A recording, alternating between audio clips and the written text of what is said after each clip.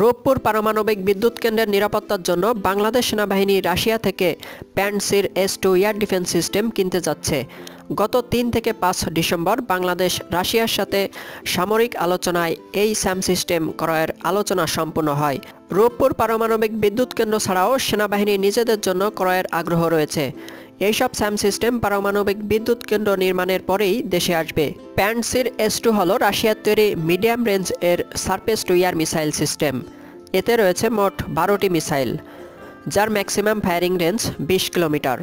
এছাড়াও এতে রয়েছে তিরিশ মিলিমিটারের চারটি গান সিস্টেম, যার ম্যাক্সিমাম ফায়ারিং রেঞ্জ চার কিলোমিটার, যার প্রতিটি গান প্রতি মিনিটে চার হাজার পাঁচশো থেকে পাঁচ হাজার গুলি করতে সক্ষম। জানা যায় এই প্যান্টসির এস টু এর ইউনিট কস্ট তেরো দশমিক পাঁচ থেকে চোদ্দ দশমিক ছয় সাত মিলিয়ন মার্কিন ডলার, যা বাংলাদেশি টাকায় একশো সতেরো কোটি টাকার বেশি। নিউজটি ভালো লাগলে আমাদের চ্যানেলটি সাবস্ক্রাইব করতে ভুলবেন না।